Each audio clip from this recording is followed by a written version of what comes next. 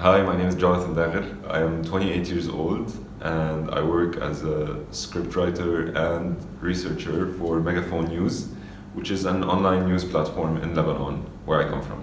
We talk about women's rights, we talk about uh, LGBTQ rights, we talk about minority rights, refugees, racism. We also talk about the economy, the electricity, the political situation. There was a lot of unfairness happening in my country, a lot of oppression.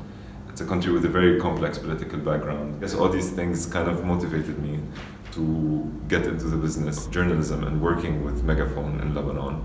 Lebanon has always prized itself as being one of the few, if not only country in the Middle East that uh, respects freedom of expression and freedom of the press. I think the situation is getting worse in Lebanon.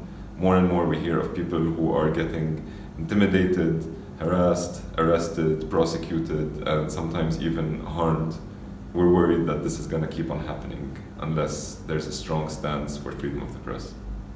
I am the Empowering Journalists in the Digital Field program, which is a program that's designed to help us navigate the challenges of privacy and security uh, of the internet and of social media. It's about how to protect yourself, how to protect your accounts, how to protect your assets, assessing the risks, and keeping ourselves safe and private. Well, I think I fell in love with Berlin the first time I ever came here, and ever since then it's been my dream to come live here for a little while, and now I'm doing that. It's a city of freedom, it's a very colorful city with so much diversity, so many people from different walks of life, all getting along. For the most challenging thing that's happened to me in Berlin so far is trying to figure out what everything is at the grocery store. I can spend hours trying to find the salt or wondering if this is, you know, shampoo or like cream or like a beer. I don't know.